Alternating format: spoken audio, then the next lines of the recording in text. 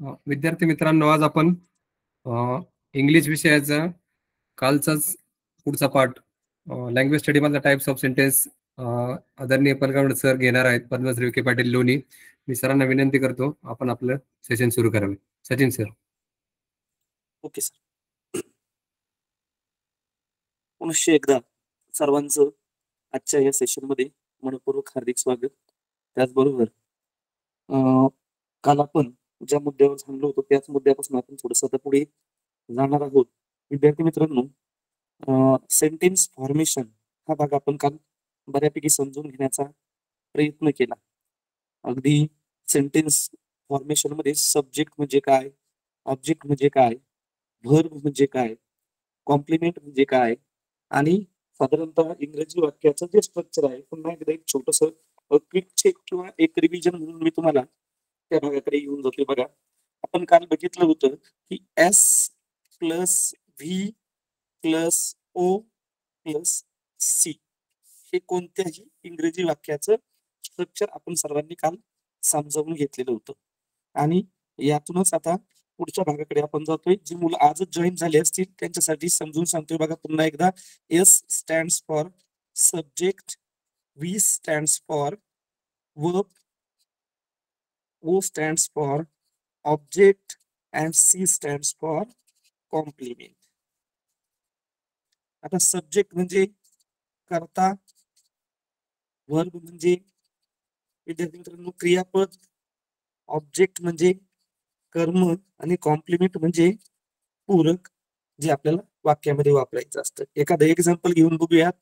आपण we play kho kho हे जर एक्झाम्पल आपण घेतलं तर वी हा करता करता म्हणजे जो काम करतोय तो प्ले हे क्रियापद क्रियापद याचा अर्थ आपल्याला माहिती आहे जी क्रिया केली जाते ती आणि याच्यावर क्रिया होते ते खो खो हे आपण अन ऑब्जेक्ट किंवा कर्म म्हणून या ठिकाणी व्यवस्थित काल समजावून घेतलं होतं.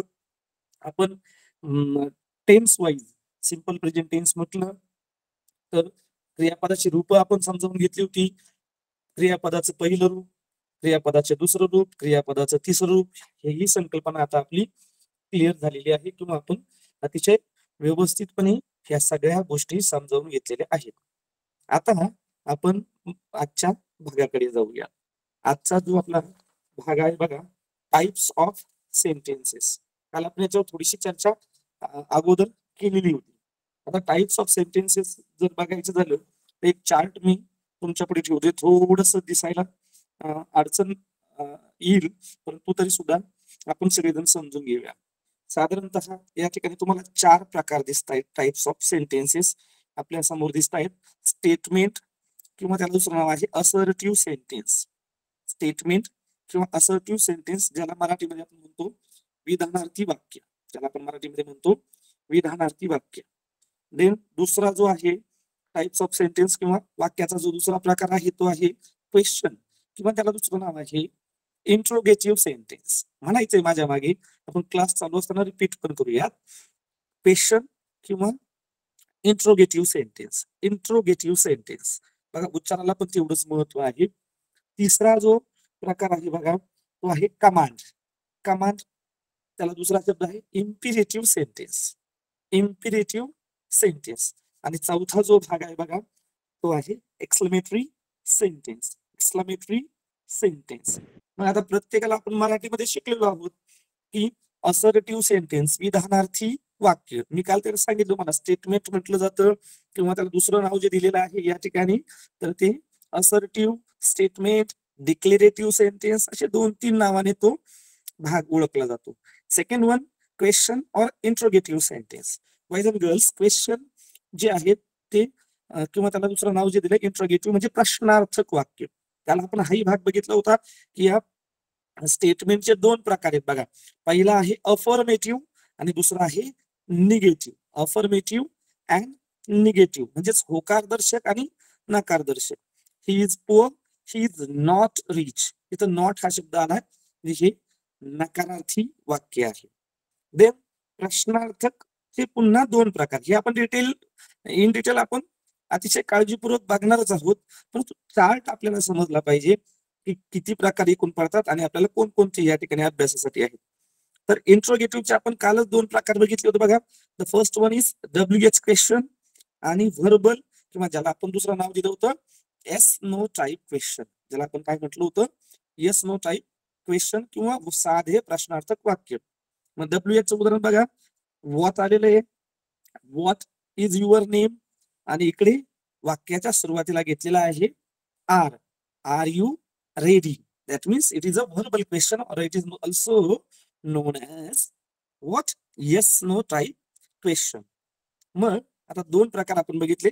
स्टेटमेंट असर्टिव्ह सेंटेन्स त्याचे दोन प्रकार अफॉर्मेटिव्ह अफर्मेटिव्ह म्हणजे होकारदर्शक निगेटिव्ह म्हणजे नकारदर्शक. इन डिटेल आपण बघूयाच क्वेश्चन इंट्रोगेटिव्ह सेंटेन्स त्याचे दोन प्रकार W H question verbal or yes no type question secondly command command म्हणजे आज्ञा. आपल्याला माहिती आपण सैन्याच्या बाबतीमध्ये किंवा आदेश देण्याच्या बाबतीमध्ये कमांड हा शब्द त्या ठिकाणी बहुतांश वापरत असतो. तर या ठिकाणी कमांड और इम्पिरिटिव्ह सेंटेन्स याचे पुन्हा दोन प्रकार पडतात. एक अफॉर्मेटिव्ह इम्पेरिटिव्ह आणि निगेटिव्ह इम्पेरिटिव्ह आता इम्पेरिटिव्हचा अर्थ आपल्याला कळाला. काय? आज्ञार्थी वाक्य. अफॉर्मेटिव्ह इम्पेरिटिव्ह याचा अर्थ आपल्या डोक्यामध्ये लगेच येतो होकार दर्शक आज्ञार्थी वाक्य.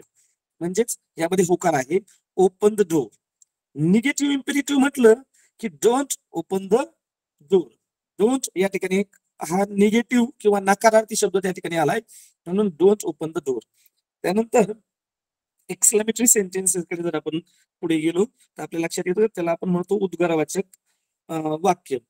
किंवा उद्गारार्थी वाक्य. तर त्याच्याही बाबतीमध्ये आपल्याला इन डिटेल पुढे बराच भाग समजून घ्यायचा आहे किंवा लक्षात घ्यायचा आहे.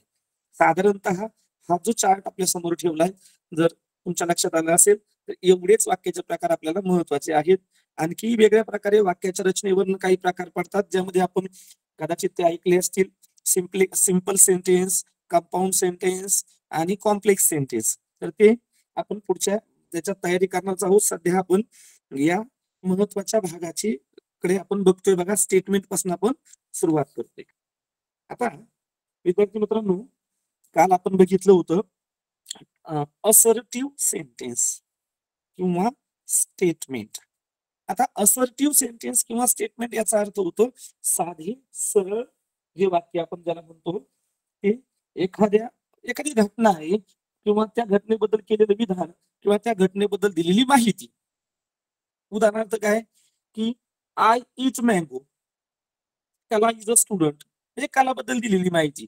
एखाद्या घटनेबद्दल केलेलं विधान किंवा एखाद्या घटनेबद्दल दिलेली माहिती. म्हणजे आपण त्याला काय म्हणूया? सोप्या भाषेत बरं का? सोप्या सोप्या भाषेत आपण समजून घेऊयात. आपण त्याला म्हणूया असर्टिव्ह सेंटेन्स किंवा स्टेटमेंट मग साधारणतः या असर्टिव्ह सेंटेन्सच्या बाबतीमध्ये विचार केला. एखादं वाक्य आपण घेऊया. Gopal works in a company अरे Gopal works in a factory तर इथं काय वाटतं? माहिती दिलेली गोपाल बद्दल म्हणजे हे काय आहे? It is a statement or it is a assertive sentence या ठिकाणी एक माहिती दिली बघा. कला इज अ स्टुडंट कला बद्दल दिलेली ही माहिती आहे. मग याचं स्ट्रक्चर काय होतं बघूयात आपण. कला हा आपल्याला माहिती आहे सब्जेक्ट आहे. आणि इज हा वर्ब आहे. कोणता वर्ब आहे?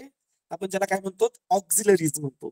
आणि अ स्टुडंट हा या ठिकाणी ऑब्जेक्ट म्हणून आपण त्या ठिकाणी घेऊ शकतो किंवा कॉम्प्लिमेंट म्हणून पण त्या ठिकाणी त्याचा उपयोग आपल्याला धरता येईल. मग स्ट्रक्चर काय होतं? S plus B plus O plus C म्हणजे आपल्याला आता परीक्षेला येणारा प्रश्न याकडे आपण जाऊया. परीक्षेमध्ये प्रश्न जेव्हा विचारला जातो तो कशा प्रकारचा असतो हे आपल्या सगळ्यांना माहीत असलं पाहिजे. मग प्रश्न मी समजावून सांगतोय बघा. प्रश्न कसा येऊ शकतो? Which ऑफ द फॉलोविंग बघा बघा is a structure which of the following is the structure of assertive sentence खालीलपैकी असर्टिव्ह सेंटेन्सचं स्ट्रक्चर कोणतं असाही प्रश्न विचारला जाऊ शकतो.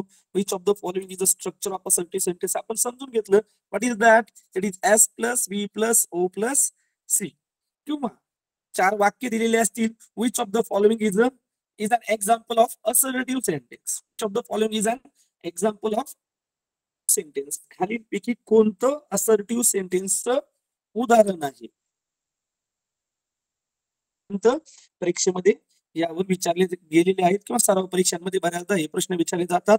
म्हणून आपल्याला दोन्ही पातळ्यांवर याचा विचार करायचा आहे. पहिला which of the following is the structure of assertive sentence म्हणजे असर्टिव्ह सेंटेन्सचं स्ट्रक्चर दिलेलं असेल. Second one which of the following is an example of assertive sentence किंवा which of the following is an assertive sentence असाही सरळ सरळ एक प्रश्न त्या ठिकाणी विचारला जाऊ शकतो. मग या ठिकाणी बघा असर्टिव्ह सेंटेन्सच्या बाबतीमध्ये आपण बघितलं की त्या या असर्टिव्ह सेंटेन्सचे साधारण विद्यार्थी मित्रांनो दोन प्रकार पडतात. पहिला आपण बघितला अफॉर्मेटिव्ह सेंटेन्स आणि दुसरा प्रकार जो आहे या असर्टिव्ह सेंटेन्सचा तो आहे निगेटिव्ह सेंटेन्स आता अफॉर्मेटिव्ह सेंटेन्स आपण त्याला काय म्हणतो? अफर्मेटिव्ह होकारार्थी. एकाच सिंपल थिंगमध्ये मी तुम्हाला समजावून सांगतो बघा. ज्या वाक्यात नकारदर्शक शब्दांचा अजिबात वापर केलेला नसतो. ज्या वाक्यात नकारदर्शक शब्द. नकार नकार दिलेलाच नसतो. म्हणजेच काय? नकारदर्शक शब्द कोणते? बघा इथं खाली आपल्याला दिसत आहेत बघा की ज्या वाक्यात no not none never neither nowhere आणखी एक नो बडी ह्यासारख्या शब्द वापरलेले नाहीत. पुन्हा एकदा बघा again I repeat for you. No not none never neither nowhere nobody असे शब्द ज्या वाक्यात वापरलेले नाहीत. त्या वाक्याला म्हणायचं हो करार्थी वाक्य. मग सिंपल आहे. आय प्ले क्रिकेट सिंपल वाक्य आहे. मी क्रिकेट खेळतो. यात there is no word use no not none never neither nowhere nobody असा कोणताही शब्द सदर वाक्यात वापरलेला नाही. याच्यावरून आपली एक गोष्ट काय लक्षात येते? की हे वाक्य कशाचं आहे? हे वाक्य affirmative sentence of assertive sentence म्हणजे अफर्मेटिव्ह असर्टिव्ह सेंटेन्स मग पुढे तुम्ही म्हणाल सर मग निगेटिव्ह सेंटेन्सचं वाक्य कोणतं? त्याच्याच विरुद्ध भाग. इथं दिसतंय बघा निगेटिव्ह सेंटेन्स ज्या वाक्यात शब्द लिहून घ्या. No not none never neither no आणि नोबडी यासारखे नकारदर्शक शब्द असतील त्यांना आपल्याला काय म्हणावं लागतं? त्या वाक्याला आपल्याला म्हणावं लागतं निगेटिव्ह असर्टिव्ह सेंटेन्स म्हणजे नकारार्थी विधानात्मक वाक्य. आपल्याला सगळ्यांना हे लिहून घेण्यासाठी मी एक सेकंदभर वेळ देतो बघा. No not none never neither nowhere nobody तुम्ही लिहिलं असेलच परंतु तरीही थोडासा वेळ आपण घेऊयात आणि हे शब्द लिहून घेऊयात म्हणजे तुमच्या लक्षात प्रॉपरली अफर्मेटिव्ह सेंटेन्स आणि निगेटिव्ह सेंटेन्स यांचा त्या ठिकाणी उल्लेख होऊ शकेल किंवा तुम्हाला ते समजू शकेल. आता पुढे जाऊया आता प्रश्न कधी कधी यावर कसा विचारला जातो बघा की लगेच याच ठिकाणी आपण ते संपून टाकूयात. म्हणजे कसं तुमच्या लक्षात येईल? कधी कधी असाही प्रश्न विचारला जातो which of the following is an affirmative sentence of the sentence given गेलो? खाली दिलेल्या वाक्याचं अफर्मेटिव्ह सेंटेन्स काय होईल? आता हे खूप मजेशीर आहे बाळांनो बघा. दिलेल्या वाक्याचं अफर्मेटिव्ह वाक्य असेल तर त्याचं निगेटिव्ह विचारलं जाऊ शकतं. निगेटिव्ह वाक्य असेल तर त्याचं अफर्मेटिव्ह वाक्य त्या ठिकाणी विचारलं जाऊ शकतं. मग अफर्मेटिव्ह वाक्याचं रूपांतर आपल्याला निगेटिव्ह वाक्यामध्ये करता आलं पाहिजे किंवा निगेटिव्ह वाक्याचं रूपांतर आपल्याला अफर्मेटिव्ह वाक्यामध्ये करता आलं पाहिजे. ते कसं करायचं? तर तिथं एक महत्त्वाचा नियम आहे. बघा अफर्मेटिव्ह टू निगेटिव्ह नियम काय सांगतो? वाक्य वाक्याचा वाक्याचा अर्थ बदला बदलू नये. म्हणाल हे कसं काय शक्य आहे? मग वाक्याचा अर्थ न बदलता ते वाक्य आपल्याला निगेटिव्ह करता आलं पाहिजे. म्हणजे वाक्याचा कोणत्याही प्रकारे अर्थ बदलता कामा नाही मग हे वाक्य आहे बघा मी तर म्हटलंय आय एम हॅपी आपल्याला माहितीये हे कोणतं वाक्य आहे? हे वाक्य आहे अफर्मेटिव्ह अफर्मेटिव्ह असर्टिव्ह सेंटेन्स मी मी आनंदी आहे. आता ठरलंय काय? वाक्याचा अर्थ अजिबात बदलायचा नाही. वाक्याचा अर्थ अजिबात बदलायचा नाही. मग आता मी यामध्ये काय वापरला? नकारदर्शक शब्द वापरला. काय वापरला बघा? नॉट मग आय एम हॅप्पी मी आनंदी आहे. म्हणजेच काय? आय एम नॉट अनहॅप्पी किंवा आय एम नॉट सॅड बरोबर का दोन्हीपैकी आपण एक शब्द त्या ठिकाणी घेऊ शकतो. म्हणजेच मी काय केलं? मी आनंदी आहे. म्हणजेच मी दुःखी नाही. याचाही अर्थ तोच होतो की मी आनंदी आहे. म्हणजे याचा अपोजिट वर्ड आपण या ठिकाणी वापरलेला आहे आणि वाक्य तयार झाले. आय एम नॉट अनहॅप्पी बघा affirmative to negative negative to affirmative असं एखादं वाक्य बघूयात बघा. इथं काय म्हटलंय? हे निगेटिव्ह सेंटेन्स आहे बघा. What is the sentence he is not your friend वाक्य काय आहे? He is not your friend तो तुमचा किंवा तुझा मित्र नाही. आता आपल्याला इथं लक्षात आलं. सर तुम्ही सांगितल्याप्रमाणे की तुम्ही म्हटले होते की no not none never neither nowhere nobody मी वारंवार रिपीट करतोय बाळांनो लक्षात राहावे म्हणून तर यातला काय असला तर ते निगेटिव्ह सेंटेन्स आहे. Just I have I have found that there is काय आहे? या ठिकाणी नॉट आहे. That means definitely it is a what is it it is definitely what is it it is definitely negative assertive sentence I understood now आता मला ह्या negative assertive sentence रूपांतर affirmative होकारार्थी म्हणजे त्याचा नकार काढून टाकायचा. दॅट मीन्स माझा पहिला प्लॅन काय असणार? माझा पहिला प्लॅन असणार I have to omit not मला हा नॉट काढून टाकायचा. मग मला हा नॉट काढायचा असेल तर हा जो पुढचा शब्द आहे याचा विरुद्धार्थी शब्द त्या ठिकाणी वापरावा लागेल. मग वाक्य होतं he is not your friend हे आपण जसं तसं घेतलं ही जसं तसं आलं नॉट काढून टाकला अफर्मेटिव्ह करायचं म्हणून. मग वाक्य झालं ही इज युअर एनिमी फ्रेंडचा विरुद्धार्थी शब्द एनिमी म्हणजे काय? तो तुझा मित्र नाही म्हणजे तो तुझा शत्रू आहे. अशा पद्धतीने आपण त्याचा जनरल यूज मी सांगतोय बघा it is only for general use असा सहज सहज आपल्याला त्याचा विरुद्धार्थी शब्द किंवा विरुद्धार्थी नकारार्थी वाक्य त्या ठिकाणी करता येईल हे आपण सर्वांनी समजून घ्यायचं. अजूनही काही आपण असे काही एक्झाम्पल घेऊ शकतो का? तर नक्कीच घेऊ शकतो. सिंपल सिंपल एक्झाम्पल आपण जर समजा घेतले उदाहरणार्थ राज इज व्हेरी किंवा Raj is industrious Raj is industrious Raj हा काय आहे? इंडस्ट्रियस आहे. आपल्याला याच निगेटिव्ह करायचं असलं इंडस्ट्रियस तर आपल्याला काय घ्यावं लागेल? राज इज नॉट लेझी बघा मी काय केलं? इंडस्ट्रीयसचा विरुद्धार्थी शब्द त्या ठिकाणी कॅरी केला. आणि राज इज इंडस्ट्रीयस नकारार्थी करत असताना राज इज नॉट लेझी अशा प्रकारचा शब्द त्या ठिकाणी वापरून तुम्हाला त्या ठिकाणी अफर्मेटिव्हचं निगेटिव्ह कशा प्रकारे होतं हे काळजीपूर्वक समजून सांगितलंय. अजूनही तुम्ही काही उदाहरणं घरी घेऊ शकता. आणि अफर्मेटिव्ह सेंटेन्स निगेटिव्ह सेंटेन्समध्ये किंवा निगेटिव्ह सेंटेन्सचं अफर्मेटिव्ह सेंटेन्समध्ये प्रॉपरली रूपांतर तुम्हाला करता येणं सगळं शक्य आहे. आता पहिला भाग आपला संपलाय बघा.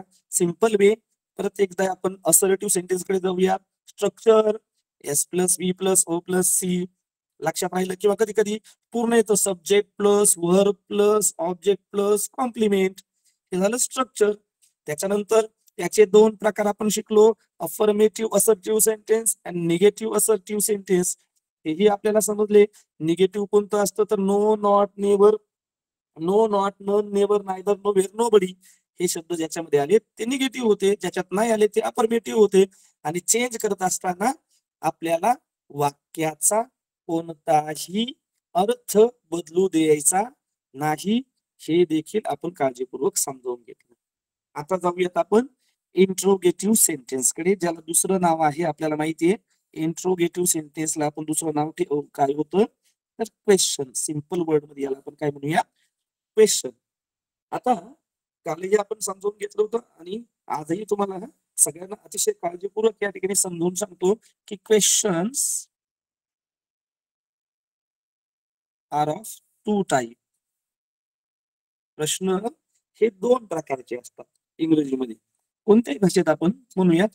पहिला आहे डब्ल्यू एच क्वेश्चन आणि दुसरा आहे व्हर्बल क्वेश्चन ज्याचं दुसरं नाव आहे yes no type question yes no type question verbal question W H question कशाने सुरुवात होते? तर डब्ल्यू एच वर्डने सुरुवात होते. त्यात आपण बघितलं होतं what who when why where, whom, how, then how much, and how many, and so on.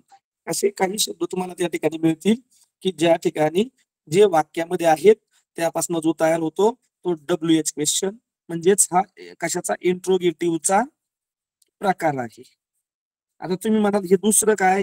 Yes no type question म्हणजे ज्याचे उत्तर आपण यस किंवा नो या दोन भागातच देऊ शकतो किंवा याच प्रकारे आपण याचे दोन उत्तर देऊ शकतो. त्या प्रश्नाला आपण काय म्हणूयात? यस नो टाईप क्वेश्चन म्हणजे कशाने सुरुवात झालेली असते? या या प्रश्नांची सोप्या भाषेत समजावून सांगतो. बघा तुम्हाला कधी कधी थोडस फसवलं जातं म्हणून मी तुम्हाला सांगतो की हा क्वेश्चन आहे की नाही हे ओळखायचं असेल तर वाक्याच्या सुरुवातीला आपल्याला समजलं पाहिजे. अँड इज आर हे शब्द असतील. वाक्याच्या सुरुवातीला वॉज व हे शब्द असतील. किंवा शल विल हे शब्द असू शकतात. किंवा आपल्याला माहिती आहे डू डस डीड हे शब्द वाक्याच्या सुरुवातीला असू शकतात. हॅव हॅज हॅड हेही वाक्याच्या सुरुवातीला असू शकतात. नंतर सूड कुड मे माईट देन उड जवळपास मी सगळे शब्द या ठिकाणी कव्हर केलेले आहेत बाळांनो. साधारण यस नो टाईप क्वेश्चनमध्ये वाक्याच्या सुरुवातीला या सगळे शब्द असू शकतात. आणि त्याचं उत्तर हे एम किंवा इज किंवा सॉरी ज्या त्याचं उत्तर हे यस किंवा नो या याप्रमाणे येत असतं. तर what who when why where यांची उत्तरं मात्र आपल्याला त्या वाक्यातून शोधून द्यायचे असतात. हेही आपण समजून घेणार आहेत. की वॉट कधी वापरला जातो हू कधी वापरला जातो वेन कधी वापरला जातो हेही आपण बारकाईने समजून घेणार आहोत. पण तत्पूर्वी विद्यार्थी मित्रांनो आपल्याला हे काळजीपूर्वक समजून घ्यायचंय की क्वेश्चनचे दोन प्रकार एक W H question and the second one is verbal question किंवा यस नो टाईप क्वेश्चन पुढे जाऊयात आता या क्वेश्चनचं स्ट्रक्चरकडे जाऊया. इंट्रोगेटिव्ह सेंटेन्सचं जे क्वेश्चनचं स्ट्रक्चर आहे उदाहरणार्थ एक वाक्य घेऊयात आपण आणि त्याला त्या स्ट्रक्चरमध्ये टाकून पाहिजे हु इज युअर फ्रेंड वाक्य काय घेतलंय बघा मी. हु इज युअर फ्रेंड आता आपल्याला असंही विचारलं जाऊ शकतो की हे वाक्य कोणत्या प्रकारचं आहे कोणत्या प्रकारचं वाक्य आहे? आपल्याला सगळ्यांना वी नो अबाउट दॅट की हे काय आहे? तर हे आपल्या सगळ्यांना माहीत आहे. हे इंट्रोगेटिव्ह सेंटेन्स आहे. त्यातला डब्ल्यू एच टाईप आहे. आता हु म्हणजे आपल्याला माहितीये की हा कोण म्हणून आपण या ठिकाणी शब्द घेतलेला आहे. आता म्हणजेच हा डब्ल्यू एच वर्ड आहे. इज हा ऑक्झिलरी आहे. बघा स्ट्रक्चरच्या दृष्टीने. ऑक्झिलरी म्हणजेच मी तुम्हाला सांगितलं helping verb supporting verb Amazon मधलाच बघा. आणि पुढचं युअर फ्रेंड हा आपण सब्जेक्ट म्हणून त्या ठिकाणी किंवा other part of the sentence म्हणून त्या ठिकाणी कन्सिडर करूया. मग हु इज युअर फ्रेंड म्हणजेच इथं हु आला की आपल्याला लगेच लक्षात आलं पाहिजे हे काय आहे? डब्ल्यू एच टाईप क्वेश्चन आहे. आणि आपल्याला त्याचं शब्द फक्त कधी कधी इथेच गोळ होतो की इंट्रोगेटिव्ह आणि इम्पिरेटिव्हमध्ये बरीच मुलं चुका करतात. तर हेही आपल्याला विद्यार्थी मित्रांनो खूप काळजीपूर्वक लक्षात ठेवायचं. इंट्रोगेटिव्ह हा शब्द इंट्रोगेशन या शब्दापासून तयार झालेला आहे. पण हा शब्द बऱ्याचदा ऐकलेला असतो बघा. इंट्रोगेशन पोलीस इंट्रोगेट हिम असाही शब्द कुठे कुठे आलेला असतो? इंट्रोगेशन म्हणजे दुसरं काही नाही. तर या ठिकाणी प्रश्न विचारणे. मग इंट्रोगेटिव्ह सेंटेन्स हा शब्द लक्षात ठेवायला आपल्याला इंट्रोगेशन हा शब्द लक्षात राहिला की इंट्रोगेटिव्ह आपल्याला का व्यवस्थित लक्षात राहू शकतो. हु इज युअर फ्रेंड तर आपल्याला हे लक्षात आलं पाहिजे की डब्ल्यू एच वर्ड ऑक्झिलरी त्याला जोडून पाहिजे. हे खूप महत्त्वाचा मुद्दा मी तुम्हाला सांगतो बघा. डब्ल्यू एच वर्डला ऑक्झिलरी जोडून पाहिजे. म्हणजे तो क्वेश्चन होतो. काही वेळेस आता एखादं वाक्य मी तुम्हाला सांगतो बघा. आणि बरीच मुलं मागच्या वर्षी दोन तीन वर्षापूर्वी यात चुकली होती की वॉच अँड इंटरेस्टिंग वाक्य काय आहे? वॉट अन इंटरेस्टिंग मॅच आणि या ठिकाणी काय दिलंय? तुम्हाला फसवण्यासाठी क्वेश्चन मार्क पण दिलाय. आणि मग बऱ्याचदा मुलांनी काय मुलं काय विचार करतात की अरे हे कोणतं वाक्य आहे? हा हे इंट्रोगेटिव्ह सेंटेन्स आहे. का बरोबर वाट नाही आला का सर तिथे?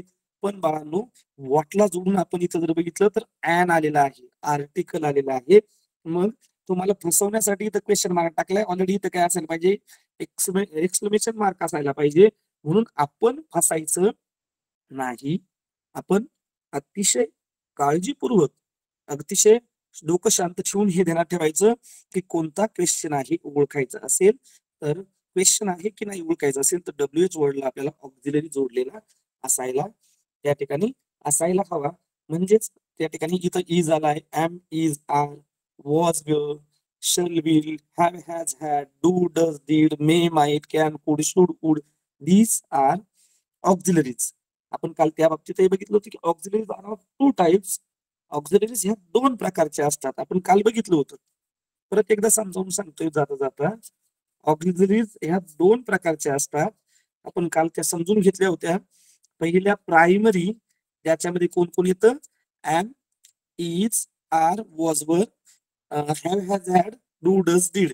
आणि दुसऱ्या मॉडल ऑक्झिलरीज हे तुम्हाला पुढे भाग येणारच आहे की ज्या भाव व्यक्त करतात. त्यामध्ये can could should sorry shall will should would may might can सारखे शब्द त्या ठिकाणी येत असतात. तर ह्या ऑक्झिलरीज कुठे आल्या पाहिजेत? डब्ल्यू एच वर्डला जोडूनच आल्या पाहिजेत. मी परत एकदा अगेन आहे रिपीट तरच तो काय होतो? क्वेश्चनमध्ये जातो. हे आपण समजून घ्यायचं. काही त्याला अपवाद आहेत ते मी तुम्हाला नंतर समजावून सांगेन.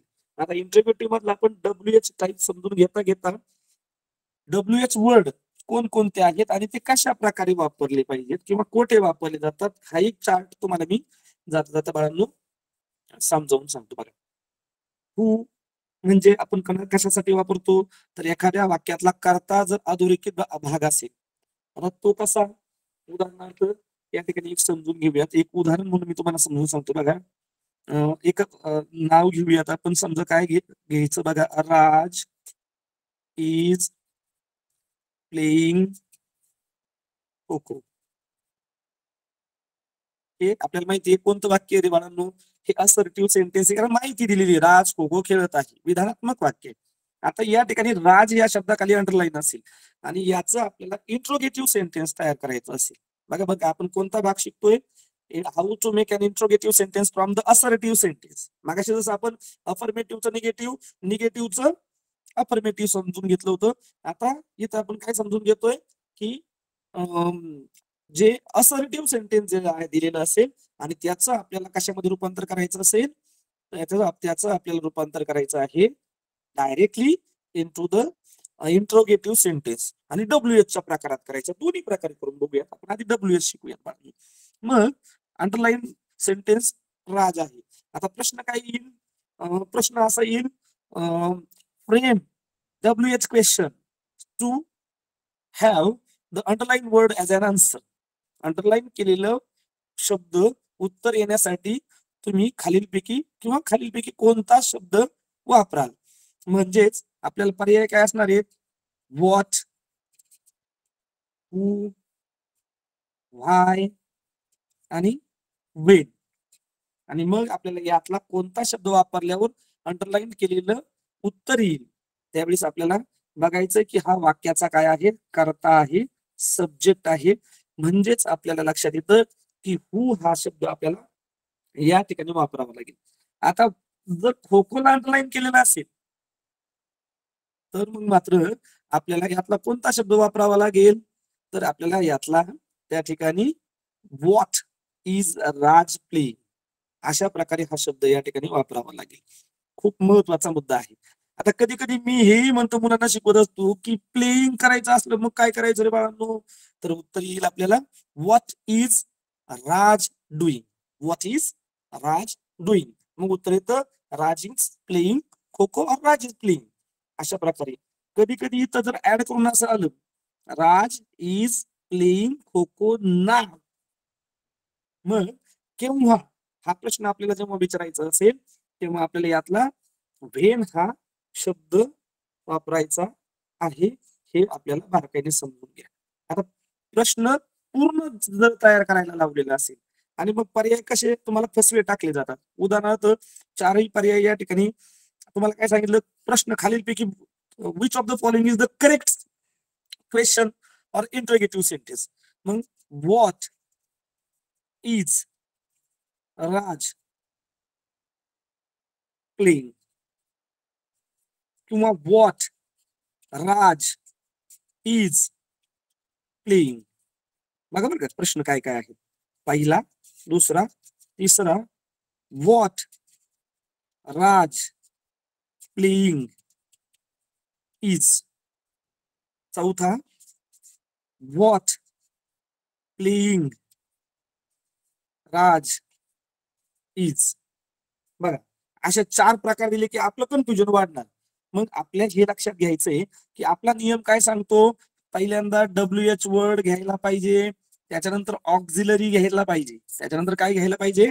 ऑक्झिलरी त्याचं स्ट्रक्चर आपण इथं समजून घेतलं होतं बघा की त्याच्या स्ट्रक्चरमध्ये आपण समजून घेतलं होतं की इंट्रोगेटिव्ह सेंटेन्सला या ठिकाणी डब्ल्यू एच टाईप असेल तर डब्ल्यू एच वर्ड आणि ऑक्झिलरी त्याच्याजवळ असायला पाहिजे. म्हणजे आपल्याला लगेच इथं लक्षात येईल की हा पर्याय या ठिकाणी बाद झाला. ऑक्झिलरियाच्या शेजारी येत नाहीये. हाही पर्याय या ठिकाणी बाद होतो. हाही पर्याय या ठिकाणी बाद येतो आणि सरळ सरळ आपण परफेक्ट उत्तराकडे या ठिकाणी जाऊ शकतो. हे आपण या ठिकाणी सगळ्यांनी बघितले आता बाळांनो मग करता काढायचा असला तर हु वापरायचा? क्रियापद मी आता बघितलं. व्हॉट वापरायचा? ऑब्जेक्ट काढायचा असेल तर व्हॉट वापरायचा? आता हे खूप महत्वाचं आहे. हाऊ मच काल याच्यावर आपण चर्चा केली होती. की परिमाण काढायचं असेल तर आपल्याला हाऊ मच वापरायचा आणि मोजता येणाऱ्या गोष्टी. महत्वाचं समजून घ्या बघा. ज्या गोष्टी आपल्याला मोजता येतात अंकात मोजता येतात त्याच्यासाठी आपण कोणता शब्द वापरत असतो? त्यासाठी आपण वापरत असतो हाऊ मेनी अजून एक शब्द आहे बघा हाऊ ऑफन हा शब्द समजून घ्या. जी जी शब्द महत्त्वाचे वाटतात ना मी तुम्हाला ते समजून सांगतो. हा एक शब्द आहे बघा हाऊ लॉंग हे शब्द बहुतांश आपल्या वापरात येत नाही. जसं इथं मी आता सांगितलं बघा हाऊ मिनी हा संख्येसाठी वापरायचा आहे. कशासाठी वापरायचा आहे? संख्येसाठी वापरायचा मग हाऊ लॉंग हा शब्द कशासाठी वापरायचा? तर कालखंड सांगण्यासाठी किती कालावधी? किती कालावधी? यासाठी किंवा किती कालखंड? मग I I have studied for two hours बरोबर का? मी काय म्हणतो? I have studied for two hours मी दोन तास अभ्यास केला. मग how much sorry how long I have study बघा या ठिकाणी आपल्याला how long have I studied हे वाक्य जर आपण केलं तर आपल्या लक्षात येतं की किती कालखंड. आता हाऊ ऑफन मग जेव्हा त्यामध्ये कोणकोणते शब्द येतात? Twice once twice thrice many times हे जे पुनरावृत्ती झालेली घटनेची पुनरावृत्ती झालेले शब्द आहेत ते त्या ठिकाणी आलेले असतात. मग आपण त्या ठिकाणी काय वापरायचं आहे? हाऊ ऑफन हा शब्द वापरायचा आहे? How much how long how often how many या चार शब्दांना आणि आणखी एक बघा हाऊ फार हा अंतरासाठी वापरायचा शब्द आहे. मी जाणीवपूर्वक हे चारी पाचही शब्द कारण परीक्षेला हेच शब्द येतात. साधारण तुम्हाला who what when how why what हे शब्द बहुतांश विचारले जात नाहीत. बऱ्याचदा तुमचा गल्लत किंवा चूक आपली जिथं होते अगदी त्याच प्रकारचे प्रश्न परीक्षेला विचारले जातात. म्हणून हाऊ मच हा परिमाणांसाठी वापरायचा आहे हाऊ मच वॉटर आपण म्हणू शकतो हाऊ मच ज्यूस म्हणू शकतो हाऊ मच सिमेंट म्हणू शकतो. कारण आपण ते वी कॅन्ट काउंट इट आपण त्याला अंकात मोजू शकत नाही. हाऊ मच शुगर आपण म्हणू शकतो. कारण शुगर आपण अंकात नाही म्हणू शकत. आपण दुकानात गेलो आणि मला पाच शुगर द्या. तर आपण तसं असा उल्लेख दुकानामध्ये किंवा कुठेही आपण करू शकत नाही. ऍट दॅट टाइम अशा वेळेस आपल्याला हाऊ मच हा शब्द वापरावा लागतो. हाऊ मिनी हा शब्द आपल्याला त्या ठिकाणी वापरता येत नाही. हे व्यवस्थित आपण सर्वांनी लक्षात घ्या. नंतर आय प्लेड ट्वाईस मी दोनदा खेळलो. आय प्लेड ट्वाईस वाक्य काय आहे? आय प्लेड ट्वाईस आणि ट्वाईस खाली अंडरलाईन आली. मग how of I how often have I played मी किती वेळा खेळलो? कितीदा खेळलो? मग उत्तर त्याचं आपल्याला मिळतं वाईस म्हणून हा हाऊ ऑफन हाही शब्द आपल्याला लक्षात ठेवायचा आहे. हाऊ मीने आपल्याला माहितीये की हा संख्यात मोजता येणाऱ्या गोष्टींसाठी वापरला जातो. अशा प्रकारे साधारणतः हा चार्ट सुद्धा तुमच्या संग्रही असायला पाहिजे किंवा तुम्हाला माहीत असायला पाहिजे की कुठे कुठे कधी कधी मुलं ह्या हुजला सुद्धा गोल करतात. हुज बुक इज दिस आता इथं बघा हे मी मागाशी तुम्हाला म्हटलं होतं की याच्या शेजारी काही येत नाहीये ऑक्झिलरी येत नाही. मग हुज ची जी वाक्य आहे ती आपल्याला काळजीपूर्वक समजून घ्यायची आहे व्हेअर आपल्याला माहिती आहे वाट काइंड ऑफ हाही शब्द आपल्याला या ठिकाणी माहीत आहे कोणत्या प्रकारचा? यासाठी आपण तो शब्द वापरत असतो. विच म्हणजे कोणता कोणती कोणतेसाठी आपण त्या ठिकाणी वापरत असतो. अशा प्रकारे प्रश्नामध्ये जर आपल्याला हे सगळे शब्द दिसले तर सोप्या भाषेत ते इंट्रोगेटिव्ह सेंटेन्स आहे. ते काय आहे? इंट्रोगेटिव्ह सेंटेन्स आहे. आता बऱ्याचदा मी आत्ताच आपण काही उदाहरणं घेतले होते तीच काही उदाहरणं मी या ठिकाणी ठेवतोय तुमच्यासमोर बघा. एक वाक्य आहे ते वाक्य मी मोठ्याने वाचतोय जर दिसत नसेल तरी तुम्ही समजून घेऊ शकता. Lata is reading a newspaper आता या ठिकाणी अ न्यूज पेपर हा शब्द आहे. काय शब्द आहे? मी कागदावर घेतो तुमच्यासाठी. वाक्य काय बघा? मोठ्या अक्षरामध्ये घेऊयात आपण. Lata is reading a news sorry newspaper आता तुम्ही लगेच सांगाल की अरे हे वाक्य कोणतं आहे? लताबद्दल माहिती सांगितली म्हणजे डेफिनेटली हे कोणतं वाक्य आहे? विधानात्मक वाक्य आहे. म्हणजेच हे असर्टिव्ह सेंटेन्स आहे. मग तुम्हाला प्रश्न काय विचारला जाऊ शकतो? की ह्या वाक्याचं रूपांतर तुम्हाला कशामध्ये करायचं आहे? इंट्रोगेटिव्ह सेंटेन्समध्ये करायचं आहे. आणि a newspaper a newspaper हा त्या ठिकाणी शब्द आहे की ज्यात जे तुम्हाला काय आलं पाहिजे उत्तर आलं पाहिजे. असा प्रश्न आपल्याला फॉर्म करायचा आहे. मग आपल्या लक्षात येतं आपलं स्ट्रक्चर आपण पुन्हा लक्षात घेऊयात. क्वेश्चन प्लस ऑक्झिलरी आलाच पाहिजे. हा तर आलाच पाहिजे. मग बाकीचा पुढचा भाग येईल.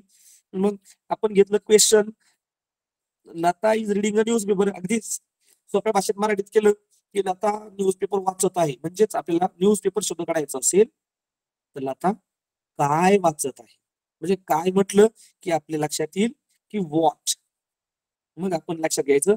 वॉट इज बघा त्यानंतर क्वेश्चन वर्ड किंवा डब्ल्यू एच वर्ड म्हणूयात या ठिकाणी. Then auxiliary then subject plus जो विचारला तो भाग सोडून सगळा. मग इथं सब्जेक्ट आपल्याला त्याला जोडून घ्यायचा आहे.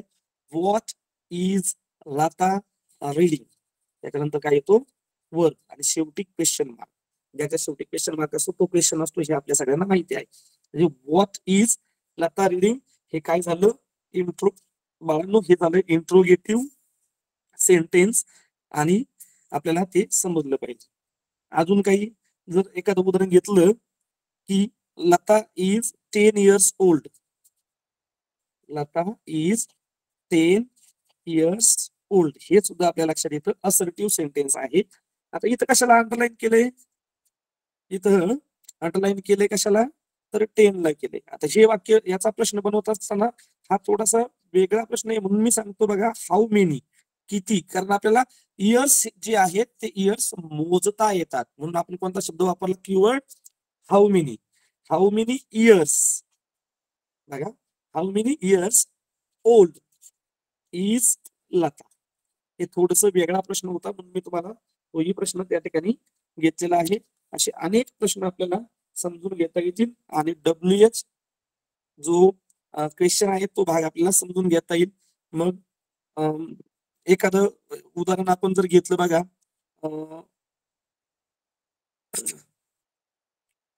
आय वॉन्ट अ पेन किंवा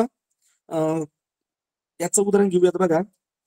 There is some water in the well बघा खूप सुंदर उदाहरण there is some water in the well मग हे जेव्हा आपण लिहायला घेऊया किंवा प्रश्न म्हणून घेऊया त्याचंही उत्तर बघा.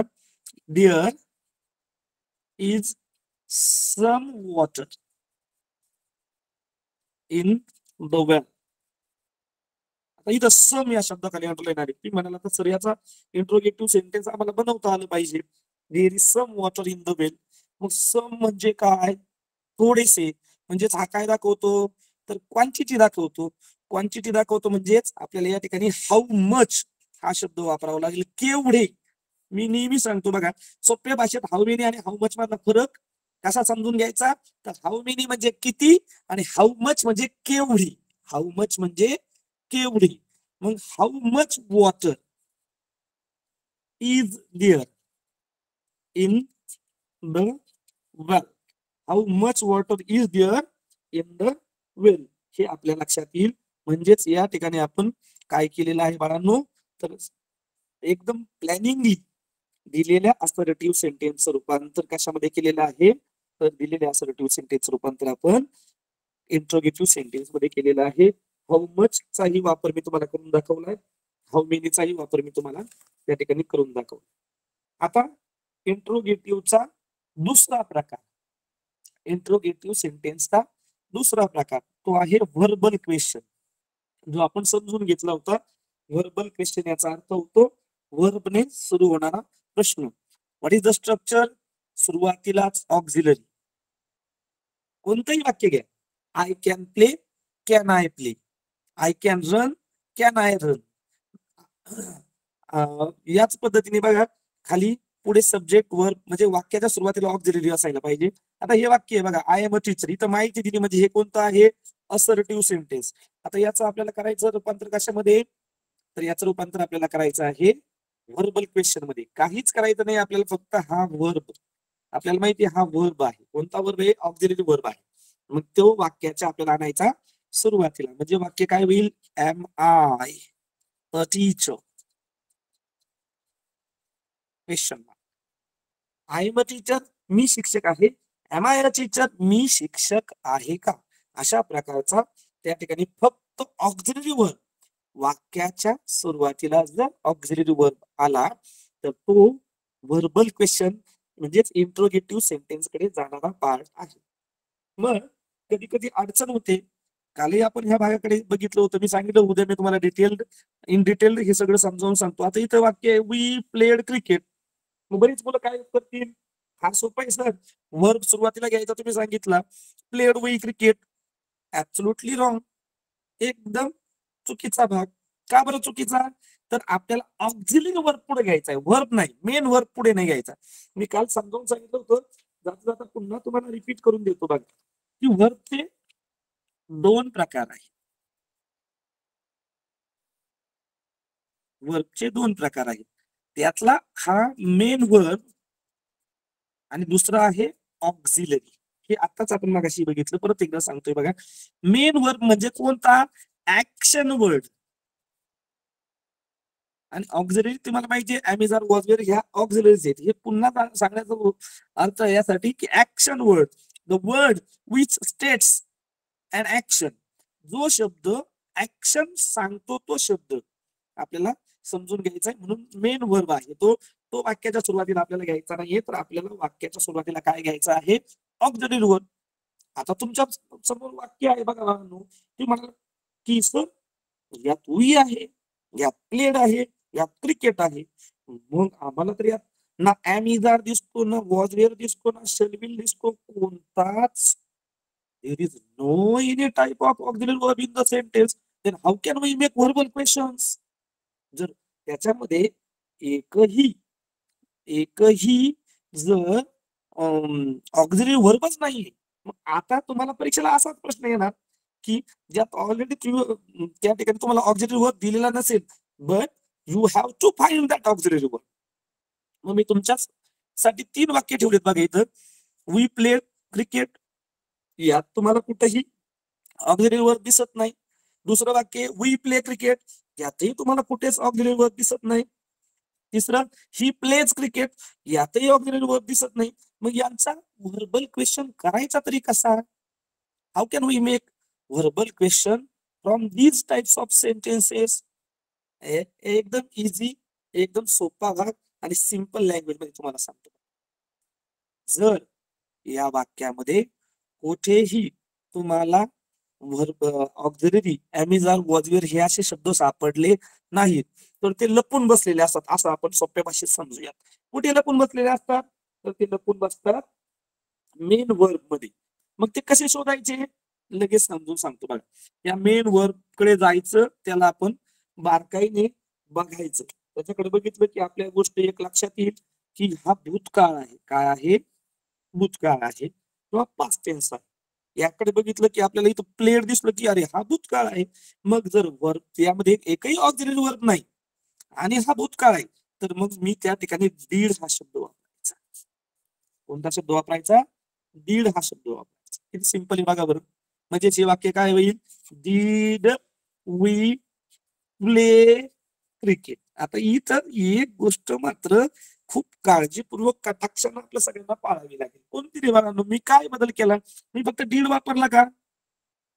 बघा बरोबर मी फक्त दीड वापरलेला नाही. मी इथला ईडी काढून घेतलाय म्हणजे इथला भूतकाळ काढून घेतलाय आणि इथं तो भूतकाळी शब्द वापरलाय दीड. कारण आपल्याला माहितीये दीड हा कुणाचा भूतकाळ आहे? डू दीड डन. असे शब्द आपण बघितले. दीड हा डूचा भूतकाळ आहे म्हणून आपण काय केलं? हा भूतकाळ घेतल्यामुळे इथला ईडी काढून घ्यायचा. म्हणजे इथं आपल्याला प्रेझेंट टेन्स मधला फॉर्म ऑफ वर वापरायचा आहे किंवा त्या ठिकाणी उपयोगात आणायचा म्हणून तुम्ही इथं घेताना मी सांगितलं दीड हा कधी घ्यायचा इथं बघायचं. सिंपल भाषेमध्ये समजून घ्या. इथं काय बघायचं? प्लेड शब्द आहे. मग इडी काढून टाकला आणि पुढे दीड वापरला. शेवटी क्वेश्चन मार्क दिला. लगेच तुमचा वर्बल क्वेश्चन त्या ठिकाणी तयार झाला. आता इकडे जाऊया. इथेही बघितलं सर तुम्ही सांगितल्याप्रमाणे यात ऑक्झिलरी वर्ब अजिबात नाही. No am no is no are nothing is there in the sentence मग काय करायचं? पुन्हा याच्याकडे जायचं याच्याकडे आपण बारकाईने बघा. अरे हा तर प्रेझेंट टेन्स मधला आहे. मग प्रेझेंट टेन्स मधला आहे याला यस यस काहीच लागलेला नाहीये. म्हणून मी इथं कोणता शब्द वापरणार आहे? डू हा शब्द. कोणता वापरणार आहे? डू. कारण डू हा काय आहे? आपण इथं बघितलं प्रेझेंट टेन्स मधला आहे. मग वाक्य काय होईल? Do we play cricket. आणि शेवटी देणार मी क्वेश्चन मार्क हा झाला verbal question do we play cricket बाकीचा कोणत्याही प्रकारचा change there is no any type of change I have made in the sentence because we have used आपण काय वापरलाय? डूच वापरलाय. प्रेझेंट हेही प्रेझेंटेन्स होतं आणि हेही प्रेझेंटेशन म्हणून त्या ठिकाणी वापरला. इथं मात्र एकच भूतकाळ असायला पाहिजे. म्हणून दीड आपण पुढे घेतला आणि इकडचा भूतकाळ आपण काढून टाकलेला होता. इथं जाऊयात. ही प्लेज क्रिकेट बघा बरं. इथं तुमच्या लक्षात येईल की या ठिकाणी यस लागलेला आहे. मग अशा वेळेस जर क्रियापद आला जर व्हर्बला यस किंवा इयस हा प्रत्यय लागलेला असेल तर डोळे झाकून आपल्याला त्या ठिकाणी त्याचा व्हर्बल क्वेश्चन करण्यासाठी वापरायचा आहे. डज आपल्याला काय वापरायचं आहे? डज आणि मग वाक्य काय होते बघा. आणि मी कोणता बदल करतोय? तुम्ही एकदम काळजीपूर्वक बघणार आहात की मी कोणता बदल करतोय. बघा डज ही प्ले क्रिकेट जी हुशार मुलं आहेत ना बघा त्यांच्या पटकन लक्षात आलं असेल की सरांनी इथं काहीतरी एक बदल केलेला आहे डोस तो घेतलाय. यस डोस घेतला सरांनी पण आणखी एक बदल मी या वाक्यात केलाय लेकरांनो. समजून घ्या एक सिंपल बदल मी केलाय. इकडं डस घेतला रे घेतला. तर इकडचा काहीतरी काढलाय. इकडचा मी काहीतरी काढलाय. तो काय काढलाय बघा बरोबर यस बऱ्याच मुलांनी ओळखला असणार आहे. शंभर टक्के ओळखलं असणार आहे तर इथला मी यस काढून घेतलाय आणि तो इकडे डजमध्ये वापरलाय. म्हणून हा यस काढायला विसरायचा नाही. व्हर्बल क्वेश्चन करत असताना दीड वापरताना भूतकाळ काढून टाकायचा. डज वापरताना यस यस काढून टाकायचा. हे सिंपल टेक्निक तुम्हा सगळ्यांना खूप महत्वाचं समजून घेणं गरजेचं आहे. म्हणून या ठिकाणी बघा व्हर्बल क्वेश्चनच्या बाबतीमध्ये आपण सर्वांनी जी चर्चा केली त्या चर्चेतून आलेलं उत्तर काय होतं? सुरुवातीला ऑक्झिलरी असायला पाहिजे देन सब्जेक्ट असायला पाहिजे नंतर वर्ब ऑब्जेक्ट आणि शेवटी क्वेश्चन मार्क असायला पाहिजे. याला आपण व्हर्बल क्वेश्चन म्हणूया किंवा याला आपण व्हर्बल क्वेश्चन अशा पद्धतीने त्याचा उल्लेख करत असतो. अजून काही उदाहरणं तुम्हाला यातली एक दोन सेकंदाचा वेळ देऊन आपण काही उदाहरणं यातली व्हर्बल क्वेश्चनमध्ये ट्रान्सफर करण्याची ती बघूयात. आता साधं एक उदाहरण घेऊया. सोप्यापासून जाऊयात. आय drank मिल्क बघा. सिंपल वाक्य आहे. असरेटिव्ह सेंटेन्स आहे. मी दूध पिलो. बघा. आय ड्रँक मिल्क आता ह्या वाक्याचं मला काय करायचंय? व्हर्बल क्वेश्चन करायचंय. How can make it how can I make it कशा प्रकारे मी बनवू शकतो? मग तुम्हाला माहिती आहे नियम. व्हर्बल क्वेश्चन बनवायचा म्हणजे वाक्याच्या सुरुवातीला आपल्याला काय वापरायचं आहे? वाक्याच्या सुरुवातीला आपल्याला ऑक्झिलरी वर्ब वापरायचा आहे. मग मी चेक केलं इथं am is are was were shall will have has had do does did might man may might can could nothing मग मी काय केलं? याला अंडरलाईन केलं मेन व्हर्बला हा. हा तर ड्रँक आहे. ड्रँक आहे म्हणजे भूतकाळ आहे. भूतकाळ आहे म्हणजे मला याच्यामध्ये कोणता वर्ब वापरायचा आहे? करा बरं विचार. दीड वापरायचा आहे. केला का विचार? मग जर मी इथे दीड वापरला बाळांनो तर मग पुढे मला काय बदल करायचा आहे? तो मी तुम्हाला समजून सांगितलाय. काय करायचं बघूयात बरोबर. मी केलेलं वाक्य बरोबर की चूक समजून घेऊया. दीड आय बघा दीड आय ड्रँक ना रे. बघा बरं ड्रँक करायचं की काय करायचं? विचार करा बरं. मी दोन सेकंद थांबलोय तुमच्यासाठी. तुमचा विचार करण्यासाठी मी दोन सेकंद स्टॉप घेतोय. बघा सगळ्यांना लक्षात आलं असेल काय करायचंय. तर ज्यावेळेस आपण दीड वापरतो त्यावेळेस याचा काय वापरायचा? वर्तमान काळातलं रूप वापरायचं म्हणजे इथं उत्तर येणार आहे. दीड आय ड्रिंक मिल्क. आणि शेवटी येणार आहे क्वेश्चन मार्क ज्यांना ज्यांना उत्तर बरोबर आली तेथे त्यांनी त्यांनी बरोबर हँड रेज केलाय. की सर मला माहिती होतं इथं हा बदल करायचा आहे असाच एक बदल इथेही समजून घेऊया बघा. शी ड्रिंक्स मिल्क बघूयात बरं किती मुलांना याचं उत्तर येतं. बघा बरं तुम्ही वहीत लिहून. मग आपण चेक करूयात. ज्याचं बरोबर आलं ना त्याला शाबाश त्याला शाबासकी देऊयात. बघूयात बघूयात किती मुलांना येतंय. याचा व्हर्बल क्वेश्चन तयार करता येतोय का बघूयात. गुड बऱ्याच मुलांनी त्या ठिकाणी केलं असणार आहे. बघा मग मी बघितलं आधी यात चेक केलं. यामध्ये कोणत्याही प्रकारचा आपल्याला ऑक्झिलरी वर्ब दिसला नाही. मग मी काय केलं? या ड्रिंक्सला अंडरलाईन केलं. इथं मला यस दिसला. मग माझ्या लक्षात आलं की सर इथं काय वापरायचं? आय नो द्या तिथं डज वापरायचा. आणि डज नंतर शी इथला यस काढून टाकायचा. ड्रिंक मिल्क अशा प्रकारे क्वेश्चन मार्क अशा प्रकारे आपल्याला रूपांतर करता आलं पाहिजे. एका प्रकारातून दुसऱ्या प्रकाराकडे. हे असर्टिव्ह सेंटेन्स आहे. हे असर्टिव्ह सेंटेन्स आहे. याच आपल्याला डब्ल्यू एच मध्ये सुद्धा रूपांतर करता आलं पाहिजे. चला आपण पुढच्या भागाकडे जाऊ. आता कमांड ऑर इम्पेरेटिव्ह सेंटेन्स मी कालही समजून सांगितलं तर सिंपल भाग आहे. ज्या वाक्यात करताच नाही बघा स्ट्रक्चर काय आहे? V plus O plus C command दिली आपण आज्ञा दिली. ओपन द डोर अरे ही आज्ञा आहे. ओपन द डोअरचं स्ट्रक्चर काय? ओपन हे वर्ब आहे. वाक्याच्या सुरुवातीला तू वर्ब आलो. ओपन कोणतं वर्ब आहे? ऍक्शन वर्ड आहे. मग आपल्याला लगेच लक्षात आलं पाहिजे की ही कमांड आहे. कधी कधी यामध्ये रिक्वेस्ट पण असू शकते. प्लीज ओपन द डोर हेही आपण इम्पेरेटिव्ह सेंटेन्स मध्येच त्याचा त्या ठिकाणी ध्यानात ठेवायचा आहे. कधी कधी don't open the door negative त्यातला असू शकतो. अपरमेटिव्ह आणि निगेटिव्ह मग डोंट ओपन द डोर असे उदाहरण आल्यावर आपल्या लक्षात येतं की हे निगेटिव्ह हे काय आहे? निगेटिव्ह इम्पेरेटिव्ह सेंटेन्स हे निगेटिव्ह कमांड किंवा निगेटिव्ह इम्पिरिटिव्ह सेंटेन्स आहे ज्याच्यामध्ये काय वापरलेलं आहे? डोंट वापरलेला आहे. डोंट म्हणजेच आपल्याला माहिती आहे की do not do not open the door आणि नॉट आलं म्हणजे निगेटिव्ह आलं. हे आपल्या सगळ्यांना माहीत आहे. म्हणजे अशा प्रकारे इम्पिरेटिव्ह सेंटेन्स हे दोन प्रकारचे आपल्याला त्या ठिकाणी लक्षात घेता येईल. एक मागाशी आपण बघितलं अफर्मेटिव्ह मधलं V plus O plus C हा प्रश्न परीक्षेला आलेला आहे बाळा की खालील पैकी which of the following is the structure of imperative sentence of command V plus O plus C किंवा don't plus V plus O plus C यामध्ये कमांड किंवा त्याचा उपयोग आपल्याला कमांड या अर्थाने आपण करत असतो. अशा प्रकारे हे दोन त्या ठिकाणी आपण समजून घेतलेले आता शेवटच्या भागाकडे चौथा जो प्रकार आहे बघा.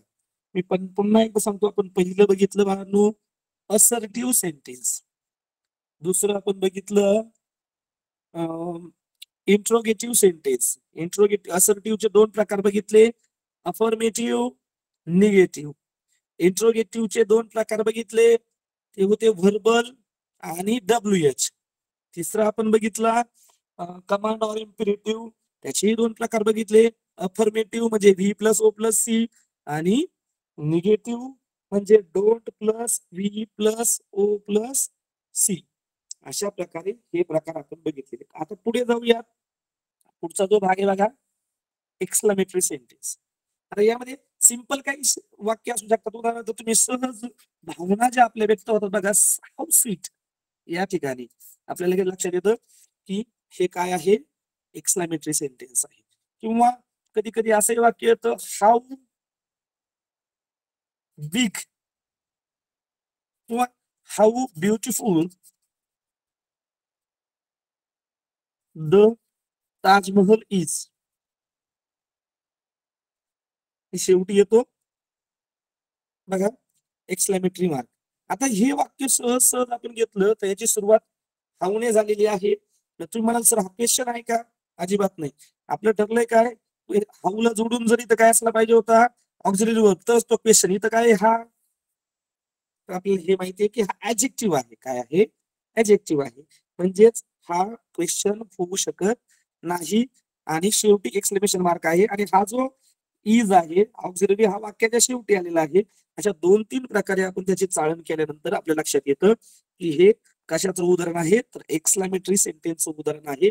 यामध्ये हाऊ याचं स्ट्रक्चर आहे how plus adjective plus subject plus auxiliary plus explanation mark हे आपण सगळ्यांनी समजून घ्या. उदाहरण how beautiful the Taj Mahal is इथं आपण बघितलं होतं. आणि इथं काय दिलाय? एक्सप्लेनेशन मार्क दिलाय. आता इथं खरी गंमत कुठे होती बघा? या शब्दाला होती. वॉच एका सिंपल गोष्टीत तुम्हाला समजावून सांगतो. हा एक्सलेमेटरी सेंटेन्स आहे की हा इंट्रोगेटिव्ह सेंटेन्स आहे. म्हणजे वॉट आलेला वाक्य हे प्रश्नार्थक आहे की वॉट आलेलं वाक्य हे उद्गारार्थी आहे हे ओळखण्याचं एकमेव चिन्ह या वॉटला जोडून जर अ आणि एन आलेला असला खूप काळजीपूर्वक समजून घ्या बघा. वॉट या शब्दाला जोडून जर तुम्हाला अ और एन हे शब्द दिसले तर it is definitely definitely hundred percent शंभर टक्के हे एक्सक्लामेटरी सेंटेन्स आहे. किती सोपं आहे बघा बरं. डोकं लावण्याची अजिबात आवश्यकता नाही समजा. ज्याला काहीच समजत नाही. त्याने फक्त एवढं बघायचं वॉटला जोडून जर अ आणि एन आला. तर आपल्या लक्षात येतं what a big building what an interesting match अशासारखे जे शब्द आहेत किंवा what a clever boy he is इथं आपल्याला दिसतं. तर त्याला जोडून काय येतोय त्या ठिकाणी? आर्टिकल येतोय ए ऑर एन म्हणजेच ते एक्सक्लामेटरी सेंटेन्स आहे. अशा प्रकारे बाळांनो सोप्या सोप्या काही क्लुप्त्यांनी आपण सहज सहज अवघड वाटणारा भागही सोडवू शकतो समजावून घेऊ शकतो. नवे नव्हे तर त्यातनं आवश्यक जे गुण आहेत ते आपल्याला प्राप्त होऊ शकतात. हे होतं एक्सक्लामेटरी सेंटेन्स अजून एक्सक्लामेटरी सेंटेन्सच्या बाबतीत आपल्याला खूप सगळा विचार करता येईल. एखादं वाक्य घेऊन बघूयात बघा. It is